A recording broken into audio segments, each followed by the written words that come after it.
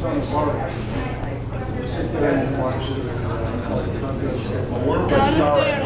So Rich Doyle called me up and, and said, uh, why don't we make a bet on the uh, Super Bowl? And I said, well, you know, the Giants are 12-point underdogs, so I'm not sure that's a good bet for me. And Rich said, well, you know, it'll be fun, and, you know, if we win, you get some harpoon in, in Brooklyn, and uh, if you win, we get some Brooklyn and Boston. I mean, how bad could it be? And he said, okay, so uh, we made the bet, you know, here we are in Boston drinking Brooklyn lager, which is uh, a very pleasant surprise. Um, Must taste sweeter having it on, on tap here.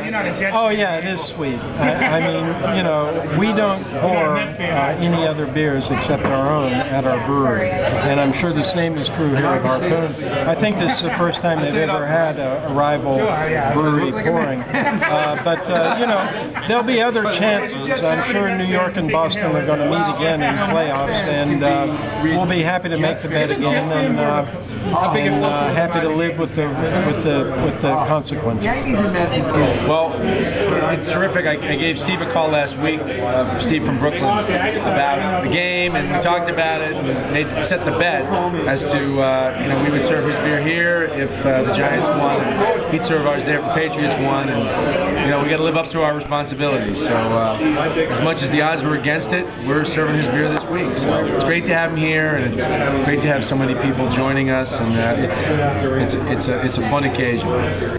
And uh, unlike the past couple of years, we lost this bet, but that silver lining is we get to enjoy some Brooklyn Lager here at the Harpoon Brewery. The first time we've had another craft beer poured at Harpoon. So congratulations to the world champion New York Giants.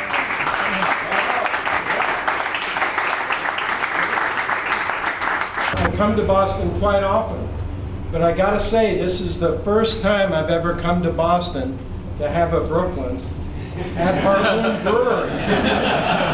and I'm very happy to be here. Oh man. And I may come back someday. I'll get used to this, Steve.